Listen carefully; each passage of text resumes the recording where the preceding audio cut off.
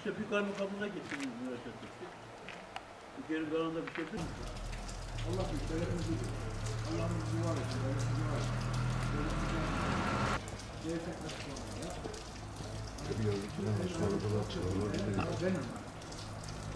Mustafa Açık Gül. Bu ev şimdi doğrudan doğru bu sağlam evi üzerine şey tabliye üzerine bastığı zaman burada hayır kalmayacak. Üç katlıydı, iki kat kaldı.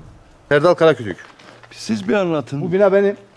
Biz bu bina ikinci depremde, dün akşamki zaten ikinci deprem olduktan sonra alt komple patladığı için e, burası şey yığma.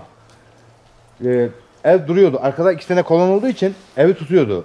E, kolon e, bura dünkü açı depremden dolayı birinci kat komple çöktü. Şu an yerin altında. Hiçbir şey sıfırladı şu an yerin altını. Şu an yerin altında bir kat bina var.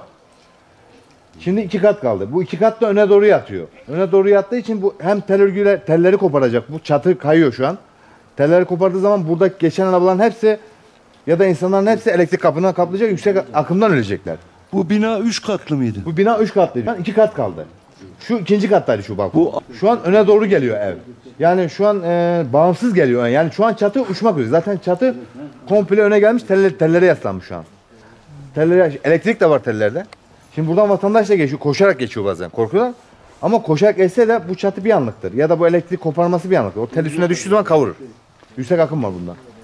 Şimdi bu... Ev sizin mi abi? Evet. Biz hiçbir şey alamadık zaten. Giremedik. Zaten görünüyor bak. Perde hiçbir şey alamadık biz evden. Korktuğumuz için.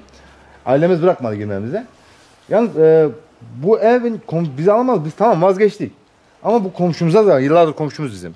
Hani şimdiye kadar birbirimize zarar ama komşumuza zarar verdiği zaman bu ev hasarsız. Bu evde zarar gördüğü zaman e, yazık yani insana.